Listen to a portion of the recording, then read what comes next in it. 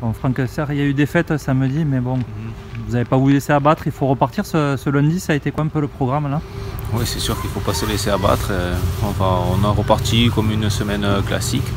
Euh, avant la, la semaine d'après on aura deux matchs avec la Coupe de la Ligue. Euh, on a fait une petite remise euh, en train euh, sous forme d'aérobie et technique, d'un peu de proprio, voilà tout simplement. Et ceux qui avaient peu joué, peu de temps de jeu ce week-end, on a fini par un petit 4-4, voilà, avec un petit travail de course.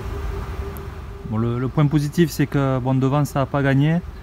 Et c'est aussi un regret, j'imagine, pour vous, pour le staff et même pour les joueurs. Vous n'êtes pas largué, vous êtes toujours à 3 points de- Oui, du troisième, mais Ouais, ça aurait pu être euh, encore mieux. C'est un championnat qui est très serré, donc euh, on voit que d'une journée à l'autre, euh, des équipes montent vite, descendent vite. Euh, C'est sûr que bon, c'est- on aurait préféré être à la, à la place de Reims forcément, hein, mais bon, on n'a pas fait le, match que l'on attendait et que l'on avec le résultat que l'on voulait. Voilà, maintenant il faut continuer à, à travailler pour euh, rattraper les points perdus euh, à la maison. Normalement, pas de suspendu, presque tous les joueurs à disposition, peut-être des, Mhm. des Ouais, Angers. Donc euh, c'est quelque chose de, de positif aussi pour vous, pouvoir bien travailler la semaine et dans la perspective euh, ouais, oui, c'est vrai de l'enchaînement le- des matchs. C'est vrai que euh, le, le groupe est quasiment complet. Voilà. Comment ça va s'articuler la semaine pour conclure?